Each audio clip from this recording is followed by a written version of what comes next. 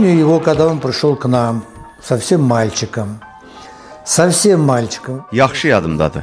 Komandaya gələrkən yeniyetmə idi. Çox gözəl, bir tərbiyəli ailədən olan bir uşaq idi. Bir məqamı hamı dərhal anladı. Bu yeniyetmənin böyük bir futbolçu gələcəyi var. Естественно, значит, особых таких этих не было, но сразу было видно в нем, что это большой футболист.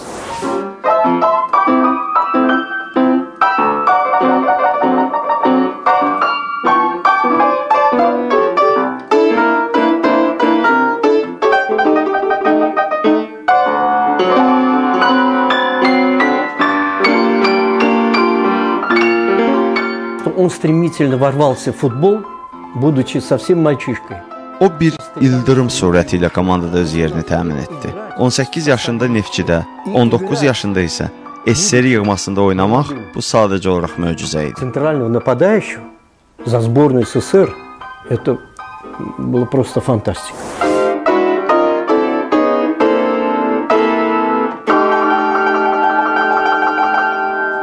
Начинал он, значит, за дубль, как все обычно. Bütün futbolçular kimi o da ikinci heyətdə oynamaqdan başladı. Səhv etmirəmsə 1964-cü ildə artıq əsas heyətdə yer aldı. Уже в середине 64 года он, значит, э, значит, там у нас уже Адам Асалмыш Tolikin inkişafında Adamas Qaladetsin, Yuri Kuznetsovun və xüsusən də Ələkbər Məmmədovun rolunu qeyd etməmək mümkün deyil. Nəinki onun, Neftçinin o dövrki heyətin bütün oyunçuların formalaşmasında onların çox böyük rolu oldu. Люди не только они большую роль в его э, становлении проявили, они проявили э, становление всей нашей команды. Komandanın baş məşqçisi Vasili Sakalov isə futbolçulara kollektiv oyun ruhu aşılamağa, yeni texniki variantlar öyrətməyə çalışır. Gəlin sevimli komandalarımıza yeni futbol mövsümündə böyük qələbələr arzu edək.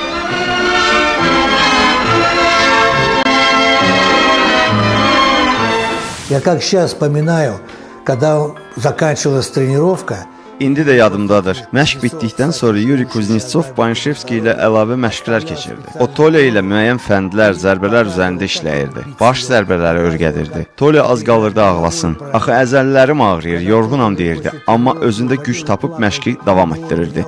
Nəticə isə az sonra özünü göstərdi. и поэтому это привело к такому великолепнейшему результату.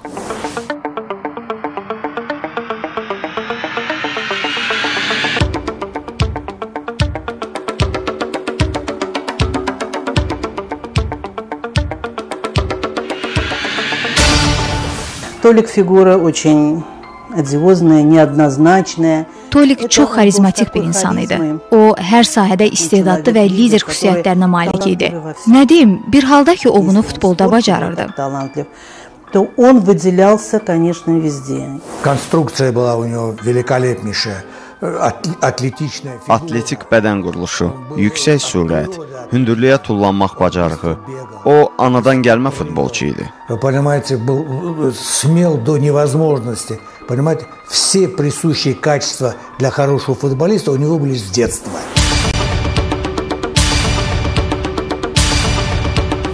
Во-первых, у него был стартовый рывок.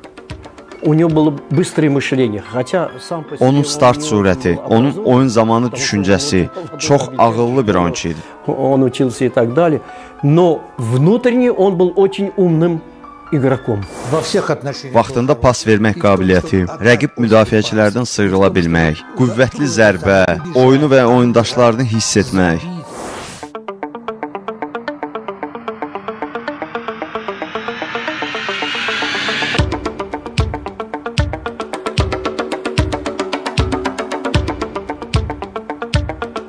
Анатолий был такой и комбинационный, Tolik həm də çox əzmkar və kombinasiya qura bilən hücumçu idi. и он был очень напорист. Толя был и пенальтист, İstər dispetcher, istər qol vurmaq, istərsə də pas verməkdə mahir idi Tolik. Он, он обладал хорошим комбинационным даром. Он мог взаимодействовать с партнерами. Belə baxanda Avropanın ən yaxşıları idi. Tuayev, Banişevski. Bəyəm onlardan yaxşısı kim idi ki? Но это лучшая тройка была. человек, который мог, допустим, э, один Tolik rəqib komandanı tək məğlub etməyə qadir olan oyunçu idi. Bu onda Allah vergisi idi. Вот он таким даром обладал.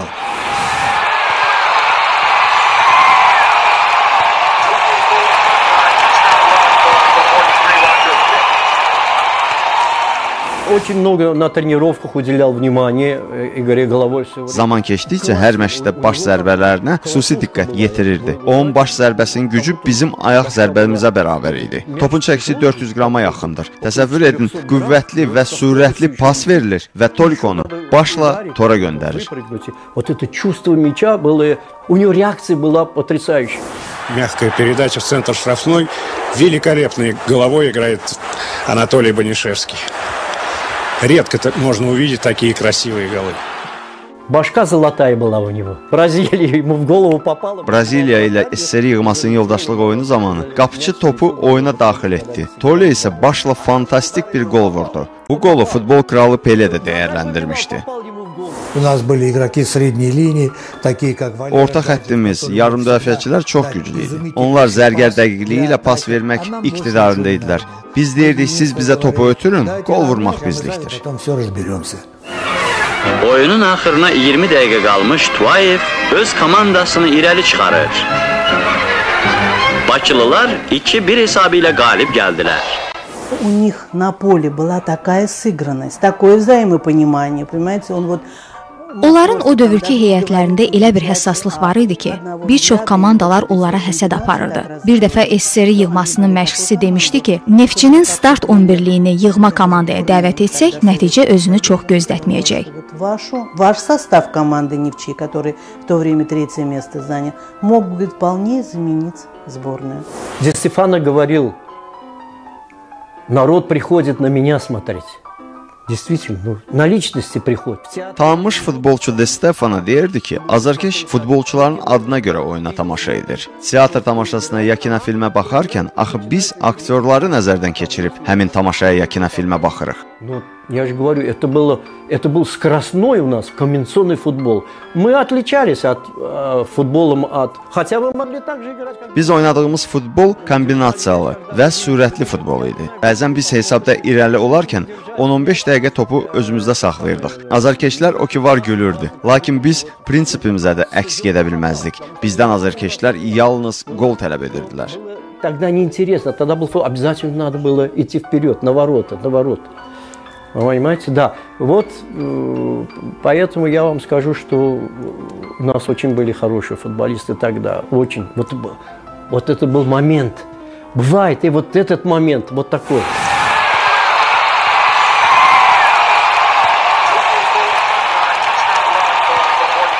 Полный стадион здесь были, вот на Ленинском комсомоле. Уж что творилось это. Уже народные любимцы были. Не только Азербайджан. Stadionda boş yer olmurdu. Bizi sevirdilər. Hara getməyimizdən asılı olmayaraq hər yerdə belə idi. Это приходили, это самое.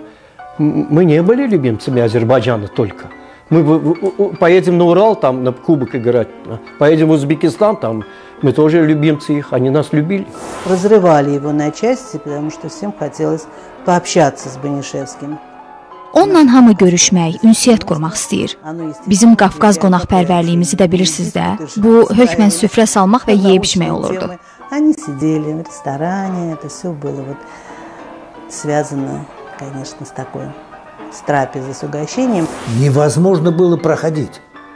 Идти куда-то. Adi dükana, bazara getmək mümkün deyildi. Dərhal səni əhatə edib alış-verişə imkan vermirdilər. Bunlar bizi sevən azarkeşlər idi. Məcbur olub gəldiyim yerdən uzaqlaşırdım. Приходится уходить. Понимаете? Вот так было.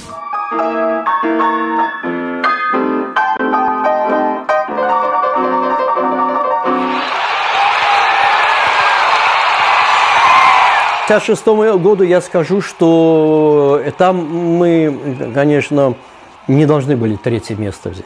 Мы чисто были вторыми, чисто. Я так говорю, чисто вторыми по игре, по составу. Əslində biz 66-cı ildə ikinci yeri götürməli idik. Cavan istedadlı uşaqlardan qurulmuşdu bizim heyət. Çox güclü idi. Bir məqam qeyd edim ki, biz bu haqqda sonradan xəbər tutduq. Başa düşdük ki, o dövrdə müəyyən danışılmış oyunlar olub. Были игроки, мы играли только в футбол, потом ничего. не- А там Скоростов, там опытные были, э, которые могли сейчас договорные игры играть. Нам сообщили потом, что они много, э, некоторые игры э, договорные, э, это самое, э, э, Məsəl üçün, Kiyev Dinamosu çempiondur. Bəyəm Ukraynanın Donetsk Şaxtyoru təmsil etmirdi.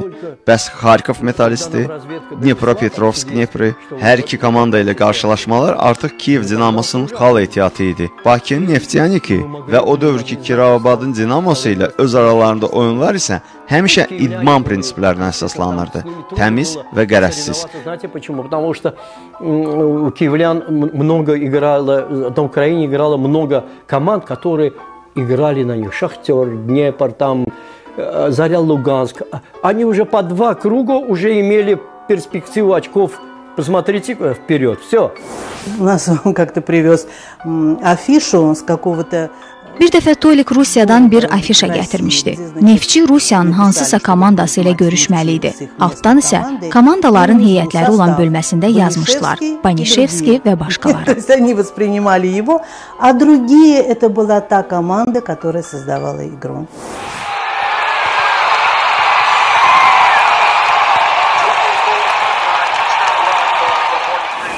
Мы друг друга понимали с полуслова. Biz bir-birimizi meydanda ani baxışdan anlayırdıq.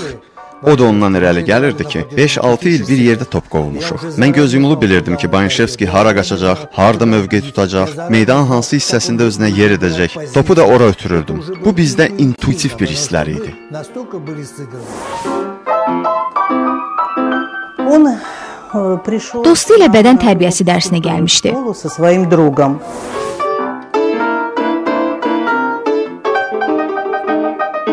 Глядя на меня, причем я ничем не выделялась среди сверстниц, все были как-то и более колоритнее.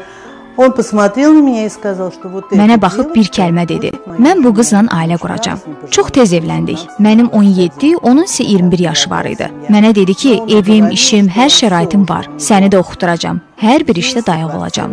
Düzdür, ailə qurandan sonra bütün verdiyi sözlər unuduldu. Amma onunla ailə Все qurduq. условия типа он мне создаст. Правда, условия не создавались, трудно было жить. Но, в общем, я вышла за него замуж.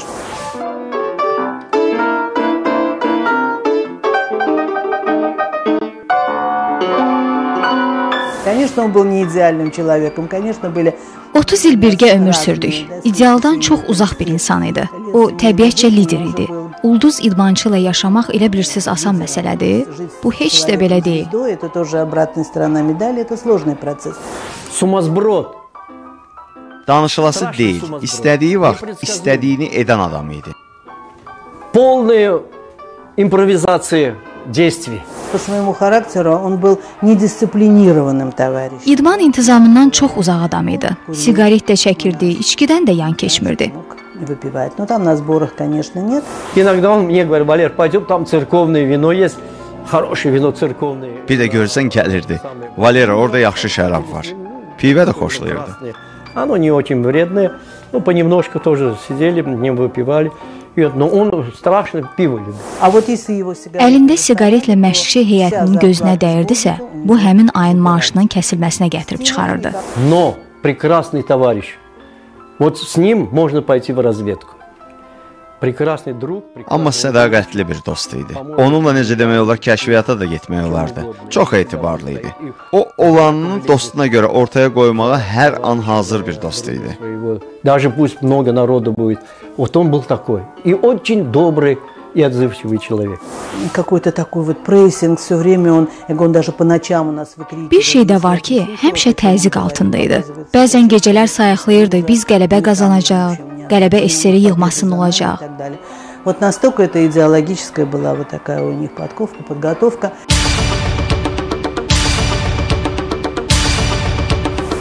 Он же такую нагрузку перенес в сборную. со своей. Çox ağır fizioloji və mənəvi təzyiq mövcud idi onun ətrafında. İstər yığmada, istər klubda, müntəzəm məşqlər, SSR çempionatının oyunları, seçmə mərhələdəki oyunlar, Avropa və dünya çempionatı. Bu axı təzyiqdir, bu dəhşətdir. Режим не соблюдает. Ustalardan ibarət Neftçi komandası da növbəti SSR çempionatına ciddi hazırlaşır. İdman ustası Bəhram Nərimanov neftçilərlə gimnastika və akrobatika dərsi keçir. Axı futbolçu möhkəm və davamlı olmalıdır.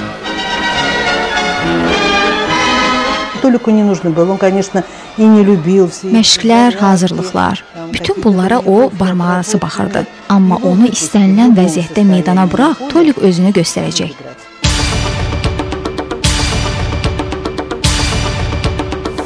Это была очень не то, что сыгранная, это была O dövrkü komandanın heyəti dostluq, birlik təcəssümü idi. Tolik üçün isə dostların maraqları hər şeydən üstün idi. себя проявлял в жизни, вот быту, что их интересы он ставил выше своих. И вот эта вседозволенность наша, мы почувствовали, что мы можем все. Кто-то мог собой владеть, например.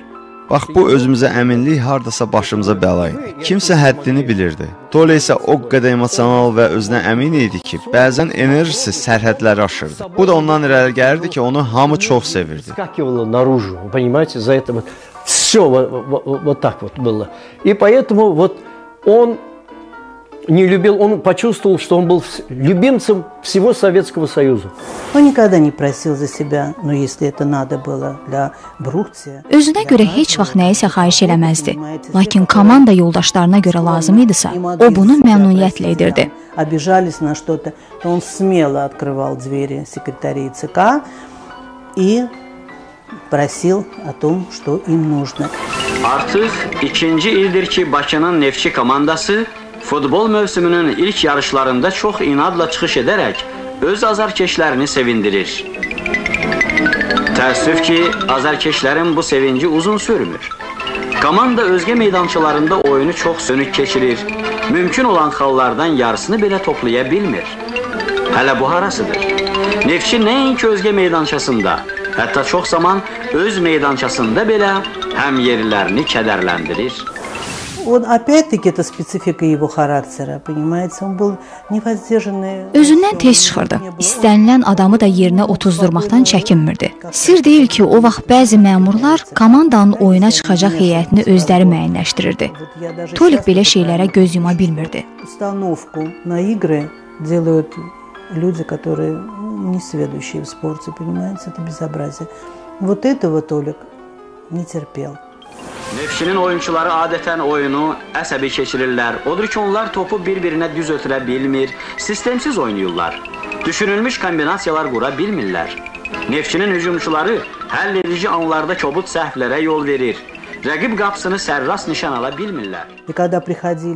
Günlərin bir günü neftçinin paltar dəyişmə otağına daxil olan məmurlardan biri futbolçuları zəif və səviyyəsiz oyun göstərməkdə təqsirləndirməklə yüksək tonla danışır. Tolik isə çıx çölə, gözün bir də səni görməsin deyir. Sənin özünün meydana çıxartdığın heyətdir, bu da nəticə. Его приглашали во все команды. Sovet İttifaqında bütün komandalar Banişevskini heyətində görmək istəyirdi. O isə mən heç vaxt heç yerə getmərəm deyirdi. То ну, никогда в жизни я никуда не уйду. Когда в Германии бы- была вся команда в поездке, Bizim komanda Almaniyada olarkən hamımızın qalmağına təklif gəldi. Hər cürdə şəraitlə təmin etməyə söz verilmişdir. Lakin biz bu təklifi qəbul etmədik. Biz fikirləşirdik ki, niyə də biz getməliyik? Bizim komandamız o zaman çoxlarından güclü idi. Я когда за сборной Олимп- э, клубов ездил в Перу, Yığmanı heyətində Peruda olarkən oradan da dərhal təkliflər gəldi. Müqavilələr müxtəlif idi. İstər Argentina, Kolumbiyadan, istərsə Braziliyadan təkliflər var idi. такие-то цены, Бразилии меньше. И зачем должны были менять, допустим, э, то- то- Biz belə düşünürdük ki, ölkəmizi, komandamızı hansısa Dinamo ya Moyka niyə dəyişməliyik ki? Динамо, ЦСКА, там и смысла не было. Никакого. Neftçi həmişə Moskva komandaları ilə inad və inamla oynayır. Çətin ki, indi qonaqlar Neftçidən xal qopara bilsinlər.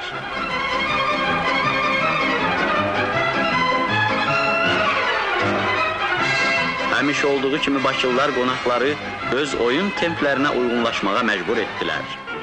Он ушел, потому что много было в нашей футболе людей, которые много хотели. Ona qarşı çox haqsızlıq edənlər oldu. O da getdi. Elə bir zaman oldu ki, onu hətta futboldan kənarlaşdırdılar. неправильных там и там его и дисквалифицировали однажды.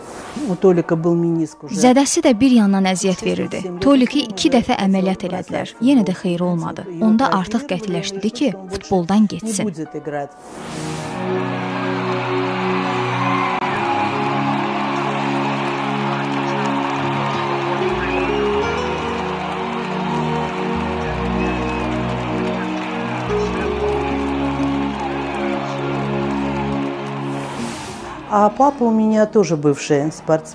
Mənim atam da futbolçu olub. Azərbaycan komandalarında qapıçı mövqeyində çıxış eləyib. Atamla çox yaxın münasibətləri vardı. Tolik də onu çox istəyirdi. Atam Tolikin oyunlarını stadiondan izləyirdi. Oyunların birində hakim Tolikin haqlı qolunu qeydə almır. Hipertonik olan atamın ürəyi elə orada dayanır. Banişevskinin Fedotov 100 qol klubuna düşməsi atamın ən böyük arzusu olub. Tolik isə futboldan gedərkən onun hesabında 95 qol var idi. Atamın arzusunu reallaşdırmaq üçün o yenidən meydana qayıdır. Прошел год или два, команда вылетела в первую лигу. Bir neçə il keçir, Neftçi aşağı liqaya yuvarlanır. Tolikin çəkisinin artıq olmasına, xəstə olmasına baxmayaraq komandaya qaytardılar. Tolik isə ona təhkim olmuş məşqçi ilə məşq edərək oyununu bərpa edir və Neftçi yüksək liqaya qayıdır. Остановили. Он помог команде, команда снова вышла в высшую лигу. Он выходил за 20 минут, будучи э, уже с- чуть ли не больным. Təsəvvür eləyirsiniz, oyunun sonuna 20 dəqiqə qalmış çıxırdı və qolsuz oyununu tərk etmirdi. Все время забивал как? Э, 20-30 минут выйдет, обязательно забьет. Вот Вернулся, а физически же уже не тот, чтобы так же двигаться быстро и все. И вы знаете, вот ребята, они так разрабатывают. Sizə deyim ki, oyunçular da ona çox kömək edirdilər. Meydanda elə vəziyyətlər olurdu ki, komanda yoldaşları qolu özləri vurmayıb boş qapı qarşısında ona ötürmə verirdilər. Sonra Tolikin qollarını hesablayarkən məlum olub ki, o yüzlər klubuna düşmək üçün lazım olan qoldan 20-yə yaxın qolu artıq vurub. Тогда уже должен был попасть в клуб Федотова, но думали, что еще не добрал он. И вот ребята вот так вот для него старались.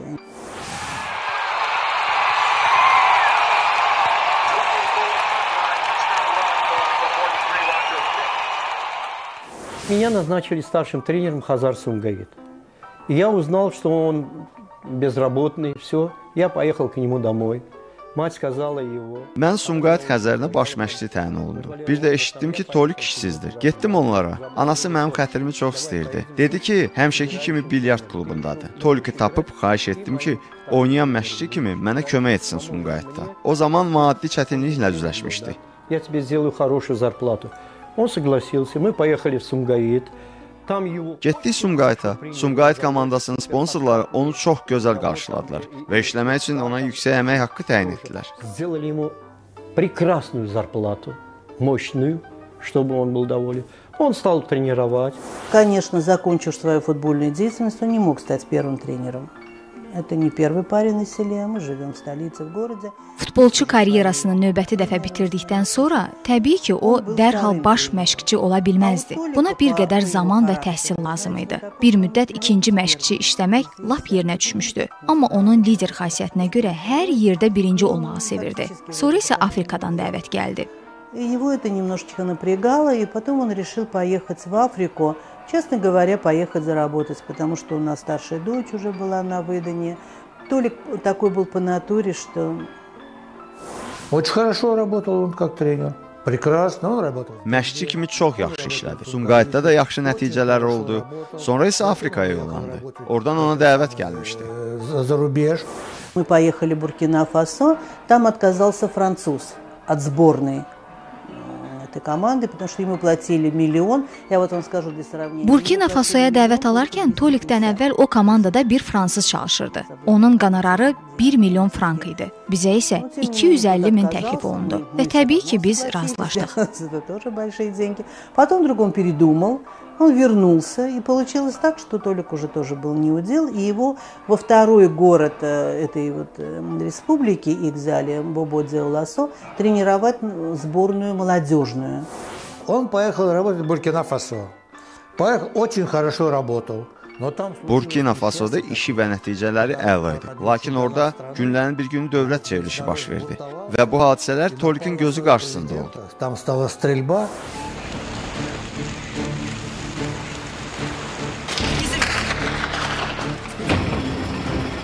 И, значит, при нем все это такая вот заваруха, еле-еле он жив там остался. А он там с семьей был там. Hərbi vəziyyətdən o güc bala ilə sağ-salamat çıxdı.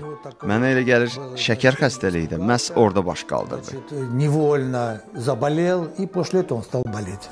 Он как-то пробовал, он у нас, в общем-то, товаровед по специальности, И он когда ушел, да, вот временно. Tolikin əsas ixtisası ticarət idi. Futboldan getdikdən sonra o bir müddət ticarət müəssisələrinin birində çalışdı. Orada da Tolik bütün kollektivin sevimlisinə çevrilmişdi. Bir dəfə hansısa rayonlarımızdan birinə 2 ton donuz sasiskası göndərmişdi. Tolikin göndərdiyi mal haqqında müəssisə rəhbərliyi xəbər tutanda Sən nə edirsən? Rayon yerlərində belə mal satılmayacaq deyərək soruşublar. Tolik evə gələrək evdə olan axırıncı qəpiyinəcən pulları götürüb o malın ziyanını ödəyir. İş yoldaşları fikrindən döndərsələr də Tolik inadından dönmür. Sonra isə bir daha əmin olur ki, futboldan başqa heç nə ilə məşğul ola bilməyəcək. Очень горд. Я, говорит, не могу там, чтобы мне какую-то там взятку давали или что-то не... Этот человек совершенно был далек от вот таких вот методов ведения жизни. Поэтому он был только в спорте, только спортсмен. Весь он отдавался спорту.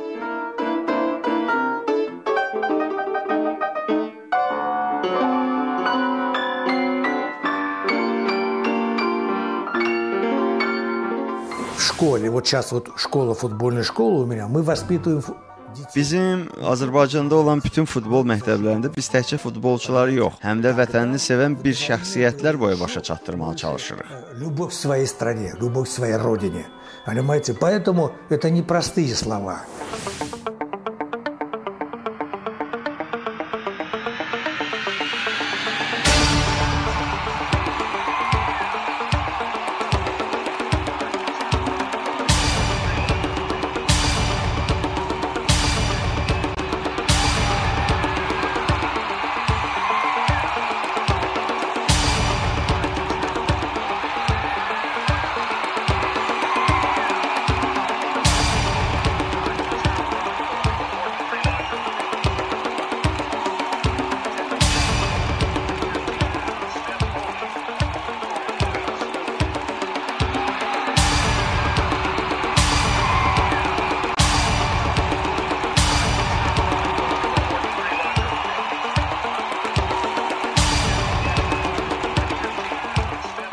Mən elə özüm uşaqlıqdan futbolla maraqlanıram.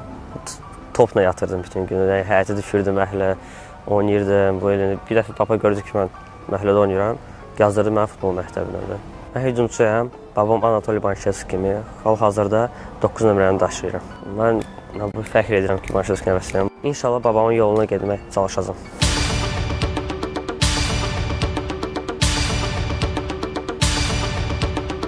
Бывают такие люди, которые, знаете, как говорили, в то Bizə o dövrdə bəzilər deyirdi ki, nə özünüzdən belə razısınız. Sizi Moskva komandalarına dəvət edirlər, siz isə getmirsiniz. Biz isə deyirdi ki, belə ancaq naxələf adamlar danışa bilər. Толя от рождения родился в Баку. вырос в Tolik Баку, Bakıda anadan институт olub, закончил Bakıda в Баку, yaşayıb, семью создал Bakıda в Баку, təhsil alıb, всю свою ailə qurub блистательную və жизнь Bakıda da oynayıb. с- играл за, э, за самое, за Баку. Ничего не нужно. Он сам должен откуда-то. Toliki heç kəs əvəz edə bilməz. Özü səmalardan qayıtsa, bax onda Banşevski qayıda bilər. O ildırım surəti ilə futbola gəlib, həmin surətlə də həyatdan getdi. Взрослым ребенком он ушел. Если бы сейчас бы заново сказали мне, что выбрать, я опять бы выбрал футбол.